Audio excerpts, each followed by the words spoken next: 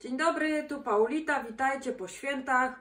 Ja wiem, wszyscy są chyba przejedzeni, aczkolwiek, no niestety, jeść trzeba. No i ja tak stwierdziłam sobie, że dzisiaj zrobimy takie trochę sprzątanie, czyszczenie lodówki, e, więc zrobimy pizzę, ale oczywiście zanim zrobimy pizzę, proszę Was o komentarze, czy wszystko jest w porządku, jak tam z jakością, bo wiem, że jeden filmik, jeden z tych pierwszych nie był za dobrej jakości, ale próbuję się poprawić. Subskrypcje, żebyście mieli na bieżąco informacje, że coś jest wstawione. No i udostępniajcie, wtedy więcej osób będzie miało możliwość porównać sobie, czy robię dobrze, czy niedobrze, czy używam naturalnych składników oraz e, korzystać z moich pomysłów. Także dzisiaj o to Was proszę, za każdym razem zresztą o to Was proszę, ale to naprawdę pomaga mi też e, w podjęciu decyzji, czy nagrywać dalej, czy nie nagrywać. Dobrze, skończę już z tą zachętą, teraz zapraszam Was do e, robienia pizzy. I teraz w momencie, kiedy wpisuję na platformie Cookido Pizza, wyświetla nam się aż 46 odnalezionych wyników. E, są to naprawdę różne pizze, zobaczcie, pizzola też jest, e, pizza na spodzie z kalafiora, margarita, na spodzie z ciecierzycy, z serowym brzegiem bardzo fajna jest, sycylijska, z pepperoni, makaron, spaghetti, pizza. Także słuchajcie, no i tu wczytujemy dalej, są przepisy. Ja dzisiaj zrobię y, najprostsze ciasto, ponieważ u mnie każdy lubi inny, do, inne dodatki do pizzy, więc dzisiaj pokażę Wam, jak się robi e, ciasto. Dużą miskę na tłuści odstawić. A, i znowu zrobiłam mały błąd, bo nie powiedziałam, jakie składniki potrzebujemy. Więc do ciasta na pizzę na pewno potrzebujemy mąkę, troszkę dro y, cukru, drożdże, ja dodaję sól i dodaję oregano, czego nie ma w przepisie, ale ja lubię, żeby ciasto też miało smak i woda. I teraz tak, y, no miskę natłuściłam sobie wcześniej, żeby Was nie zanudzać. Y, oczywiście podnosimy pokrywę, musimy w tym momencie wytarować wagę. Wlewamy 200 20 e, gram wody. Teraz powiem Wam, ja robię podwójną e, porcję, ponieważ u mnie szybko znika pizza, a nawet jak jest zimna, to oni zjadają e, później. Więc wlewam 440 gram wody.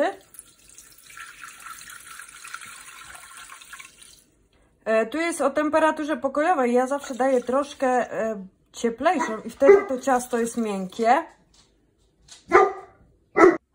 Słuchajcie, niestety e, życie bywa przewrotne, więc musiałam zrobić przerwę techniczną, bo mój piesek bardzo pilnuje domu, e, a z racji tego, że ktoś zaczął pukać do drzwi, więc on e, szczekał. Przepraszam Was za ten hałas. No ale wróćmy do robienia pizzy. Więc wodę już wlałam. Po wodzie w, dodać łyżeczkę cukru. Hmm, pomyślicie, cukier do pizzy? Tak, cukier pomaga drożdżom szybciej rosnąć. No i do tego dodajemy 20 gram, czyli ja dodaję 40, ponieważ robię podwójną porcję. No. Wiem, że ciężko teraz z drożdżami, ale już jakoś tak się sytuacja trochę zaczyna opanowywać, więc ja ostatnio dostałam bez problemu. No i zakładamy e, pokrywę z miarką. Wciskamy przycisk dalej. No i Thermomix teraz pracuje 20 sekund. Zobaczcie, temperatura 37, obroty 2. Temperatura jest po to, żeby te drożdże nam podgrzały i żeby rosły. E, dobrze się rozpuściły. E, no i temperatura już, jak widzicie, rośnie. Nie będzie tu czerwono, ponieważ 37 to nie jest jakaś fest, wysoka temperatura. Aczkolwiek u człowieka to już jest stan podgorączkowy. Ale drożdże lubią w takiej temperaturze sobie rosnąć. No i mamy przycisk dalej. Do tego dodajemy mąkę. Drożdże nam się rozpuściły. Dodajemy mąkę. Ja dodaję 800 gram. A, trzeba wytarować. 800 gram mąki. Tu jest resztka opakowania 200. Następna. Otwieramy następną. No i wsypujemy do 800 gram. Trzeba, żebym nie przeholowała jak zwykle. Bo ja tak lubię sobie. Aż pomału, pomału zbliżam się No ludzie. Jest, równo, aż niesamowite. Dajemy przycisk dalej. Oliwa z oliwek. Gdzieś tu nam się schowała. Jest. 30 gram, czyli ja daję 60. E, oliwa pomaga nam, że to ciasto jest wtedy smaczniejsze też i bardziej miękkie. O kurczę, 60 miałam dać, a dałam 80. Zagadałam się. Łyżeczkę soli, czyli my dajemy dwie łyżeczki soli. No i do tego właśnie e, tu w tym momencie jest założyć pokrywę, ale ja sobie jeszcze wsypuję oregano, bo ja lubię jednak też w cieście jak czuć trochę oregano. Miarkę zakładamy i teraz zobaczcie. E, mamy symbol kłosa, czyli wyrabianie ciasta. Ja powiem szczerze, że ja nie bardzo lubiłam robić pizzę, wolałam kupować gotową, ale teraz ciasto nam się wyrobi w dwie minuty. I teraz jeżeli mamy symbol kłosa, najlepiej zdjąć y, miareczkę i nie używać jej, ponieważ wtedy ciasto się dużo lepiej napowietrza, jak się kręci. Ja powiem Wam tylko tyle, że przedłużę sobie czas, przy, y, klikając na czas, przekręcałem, przedłużę sobie o minutę, ponieważ ja mam jednak podwójną porcję i wolę, żeby to się lepiej wymieszało. Klikamy na kłos, przekręcamy e, okrętło, no i w tym momencie wyrabia nam się ciasto. No przez 3 minuty możemy zacząć przygotowywać sobie e, inne składniki. A teraz jeszcze powiem Wam rzecz następującą, bo ja kupuję ser w kawałkach, kroję na, taki, yy, na takie większe kawałki, wrzucam do Thermomixa i on się sam rozdrabnia. Ale to podam Wam w innym filmiku, żeby nie wszystko naraz. I jeżeli y, dacie mi subskrypcję, to w danym momencie jesteście informowani, że na przykład wstawiłam filmik o rozdrabnianiu sera. Rozdrabnianie sera ustawiam ręcznie, więc pokażę Wam też jak ręcznie ustawić.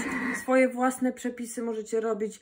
E, nie musicie koniecznie korzystać z przepisów wbudowanych e, czy tam na platformie, ale możecie z czasem swoją inwencję twórczą e, sobie swoje przepisy robić i ustawiać ręcznie, bo wszystko się da.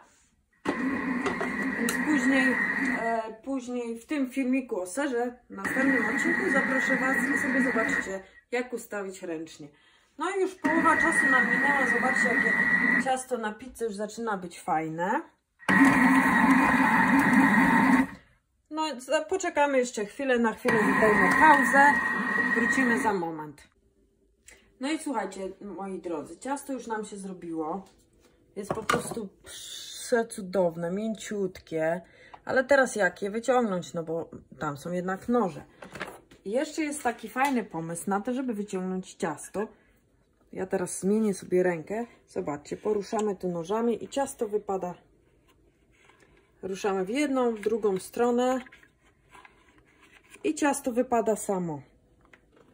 Wiadomo, no coś tam zostanie, bo to nie jest jakieś takie, że idealnie nam wybierze to ciasto. Ale teraz już możemy, widzimy jak wsadzić rękę, żeby się na przykład nie przeciąć. Odstawiamy.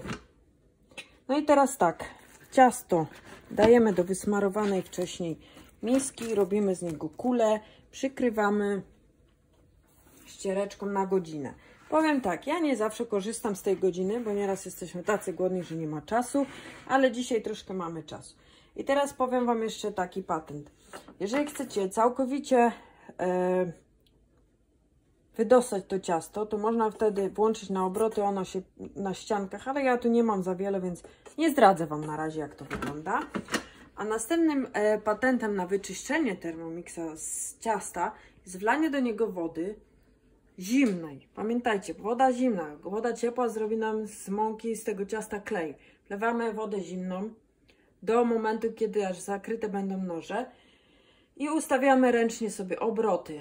Na przykład na 10, potem obroty wsteczne na 10 i zawsze, to, ja nie mówię, że będzie idealnie wymyte, ale zawsze ten najgorszy pierwszy brud będzie spłukany. Ale pamiętajcie, zawsze zimna woda. No to co? E, czekamy mniej więcej godzinę. W międzyczasie można sobie przygotować różne produkty zmielić sobie ser. E, kto co lubi, jaką pizzę, pieczarki, e, salami, szynka, papryka, kukurydza, groszek, szpinak, tuńczyk, no nie wiem, jeszcze tak niektórzy lubią ananasa, my mamy kurczaka podsmażonego, no to już kwestia gustu, tak? Czyli jakieś zielone, yy. Także jak minie ten czas, pokażę Wam, jak łatwo się rozwałkowuje. E, to ciasto, składniki nakładamy, wrzucamy do piekarnika, no bo tu w instrukcji mamy właśnie, żeby odstawić na godzinę, żeby podwoiło swoją objętość. Rozgrzać piekarnik do 220, e, blachę wyłożyć papierem, ja smaruję oliwą i odstawić. No i właśnie tu jest ser mozzarella, w kawałki wrzucamy go. E, I każdy, ja na przykład nadaję na pierwszą warstwę, daję e, smarowidło typu ketchup, koncentrat i tak dalej, potem ser i różne dodatki to zapiekam. No ale to będziemy za chwilę robić. To... Słuchajcie, no nie minęła jeszcze godzina, ale my już się nie możemy doczekać. Nasze ciasto jednak urosło. Może nie podwoiło, ale urosło, więc rośnie. Z racji tego, że moje głodomorki już tupią nóżkami, że potrzebują jeść. Więc ja urywam sobie kawałek ciasta, smaruję blaszkę olejem, żeby się nam nie przypalało. Powiem Wam, bardzo fajne są te blaszki, bo każdy robi swoją pizzę w międzyczasie i pieką się cztery naraz. Więc ciasto trochę porozciągam. Każdy daje tam swoje dodatki. Mam taki mały wałeczek, więc go to ciasto rozwałkuję. Jest tak fajne. I właśnie ręką sobie pomogę. Może być cieńszy, może być grubszy, to już mówię, to już też kwestia gustu. Ja nie lubię, ja lubię takie pośrednie, tak naprawdę. Wiadomo, że ciasto to na brzegi jest najgorsze do zjedzenia, ale ja na przykład sobie nie do końca rozwałkowuję to tak całkiem. Ono i tak urośnie, więc dojdzie do końca blaszki.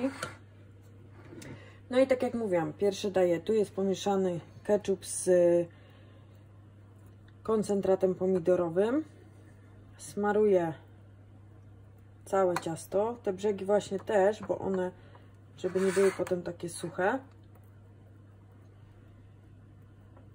Także już kończymy smarowanie. Obliżę paluszki. No i sypię ser, który właśnie wcześniej żeśmy w międzyczasie rozdrobnili.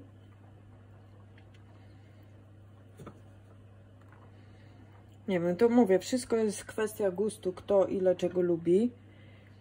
Dodatkowo sobie e, przygotowałam troszkę mozzarelki bo też lubimy, ona się fajnie rozpuszcza i się fajnie potem ciągnie, ale żeby nie było za dużo. No i teraz tak, mój najmłodszy syn lubi tylko szyneczkę, reszta już sama sobie komponuje swoje smaki, ale on toleruje tylko szyneczkę, kukurydzę i co jeszcze? I to chyba wszystko. No ewentualnie kurczaka, bo on nie lubi pieczarek, Kukurydzę mu troszkę nasypiemy. Damy mu tego kurczaka, niech troszkę ma radości.